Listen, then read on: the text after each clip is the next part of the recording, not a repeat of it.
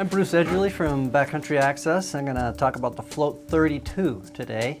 Float 32 is our full-featured backcountry pack for carrying the full gamut of backcountry gear. Like all of our newer packs, the mudroom is accessed with the red zipper. As you can see, I've got a shovel probe and an ice axe in here. The mudroom is a great way for you to isolate any kind of wet equipment from the equipment in your main compartment that you want to keep dry. Really nice feature about this pack this year is it'll fit a lot more torso sizes. We have an adjustable waist belt here. There's Velcro back here and, and webbing tying it into the frame. We have a small, medium, and large size torso, so this will fit a wide range of both men and women. You see that we have waist belt pockets on the waist belt uh, and gear loops for carrying climbing gear for setting anchors and glacier travel. Shoulder straps are also fully adjustable. You'll see that inside you can move the trigger up and down depending on how tall or short you are. You want that trigger to be right in the area where you can grab it easiest. All adjustable and on the other side you can put hydration or our BC Link radio. The BC Link radio is ideal for backcountry skiing and snowmobiling because all the controls are right there on what we call the smart mic.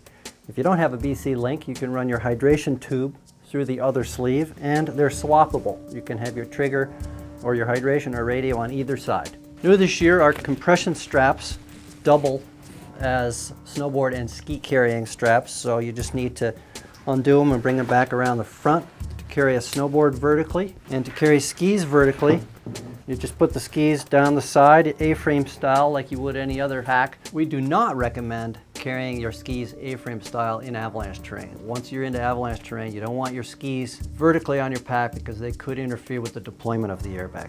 The way that you would carry your skis if you were in any kind of avalanche terrain would be with our diagonal system.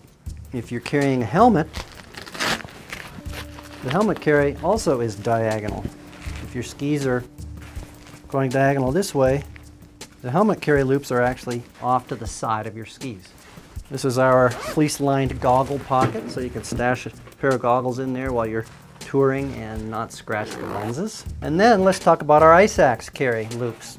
The head goes in here with the pick inside the flaps, and then your spike goes in these two areas if you're carrying short technical axes.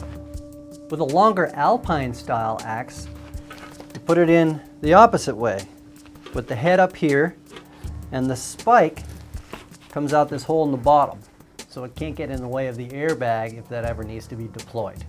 All float airbags now have a dedicated sewn-in leg strap that goes from your waist belt through your crotch back into your waist belt to protect yourself from losing the pack when the airbag deploys. It also prevents your sternum strap from choking you if the bag rides up on you if you deploy the airbag. Here's a nice little detail on the Float 32, our third zipper. Notice how there's three zips here, and if these two are all the way up at the top where they'd normally be, you can still get into the bottom of the pack by opening the third zipper. Those are the main features of our new Float 32. It's a full-on backcountry touring pack with all the features you'd need for a full day out in the backcountry.